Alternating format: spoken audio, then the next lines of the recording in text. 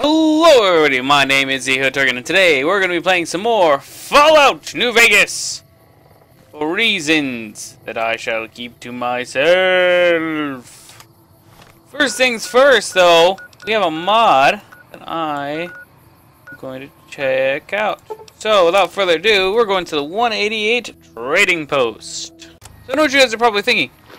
Ehud, what could possibly be out here in the middle of absolutely nowhere. Well, my good friends, it is a mod called Giant Red Square. The Templar mod. What do you need? Now, as you can see, I uh, it is a uh, Templar knight. He doesn't say anything. He doesn't do anything. Um. What do you need? This is the Templar recruit, who does absolutely nothing. And somewhere around here. So yeah, they don't do anything. This is a completely unfinished mod. Except for one little tiny thing.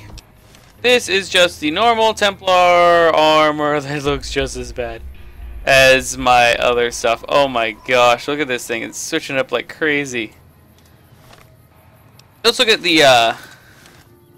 There we go. So this is the power armor of the Knights Templar. You can see. Looks actually kind of cool. Looks nice. And this is the Knight's Blade. Yeah, yeah, yeah. Anyway, so, let's go off an adventure! Alright, so of course, guys, we have the storyteller with us. Anything to say, storyteller? Oh, snap. Charge into battle! Let's go! Dun dun dun dun dun dun dun dun dun dun dun dun For king and country! Here we go. Ah!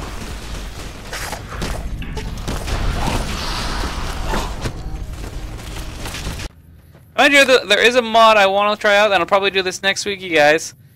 Um, it is a boxing mod, which hopefully if all things go well, I'll actually have some good footage of me trying to box.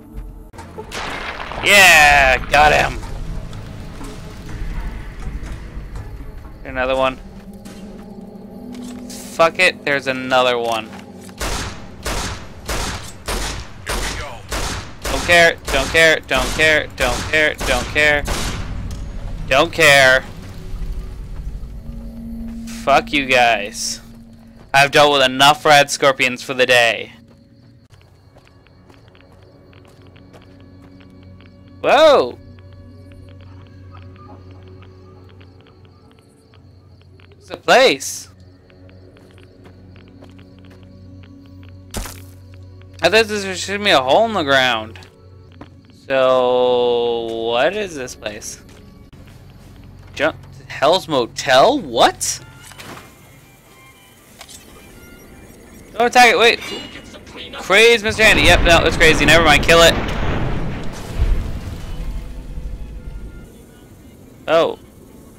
Dr. Rotson. Listen, this guy went crazy. Killed the good old doctor. Heard of Hell's Hotel. Heard of Hell's Kitchen. Well, David Ramsey presents Hell's, Hell's Hotel. Uh, the fuck is your room service going to be fifteen dollars for a bag of M&Ms? You a fucking twat! Ba ba ba ba ba ba ba ba ba ba ba ba ba ba Why is there ghostly howls? There we are! Hi, found it! Found it! Found it, found it, found it, found it, found it!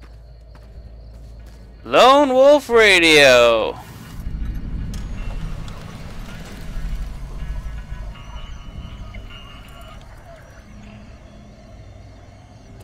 Wow. That's a lot of radio coming. So this place, you storyteller, I like this one. This place actually supports my theory that the courier aka my character, is actually get this the Lone Wanderer from Fallout 3. Alright guys, get me on this one. Alright then. So this place is obviously been set up for a bit. So what does that mean? Well, it's really quite simple. This place had to have been set up over the course of time. For those who don't know, it is night uh, 2281. Four years after Fallout 3. That means somebody would have to travel from the um, DC Wasteland all the way here to um, well, do anything. So the Wasteland Guide was a book written and distributed by uh, I think it's Moira from Wait uh, Megaton. Um, she wrote this book. We helped her do it, and the end of uh, and that's in August of 2277. It's now uh, November 2281.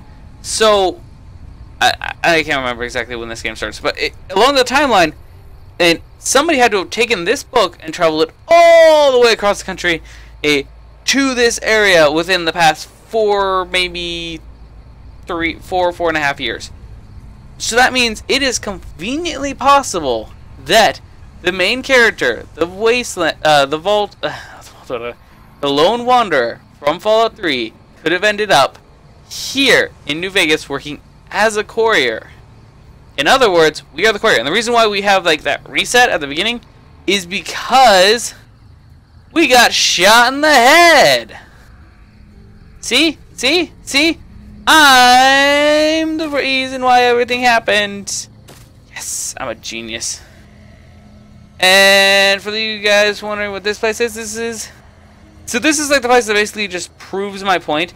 It's possible. It is very possible for somebody to go from the DC wasteland all the way across the country to this place within the four years. It's totally possible. It's also has to take into account confirmation that they tra they traveled and they got a hold of all of this damn equipment. Started up the broadcast, lost hope, and did whatever to themselves, because there's no grave or anything, and stopped doing the lone wolf. That takes time, guys. So we're looking at maybe two years, and my character has very little history. Just Ulysses says, "Black Courier Six go."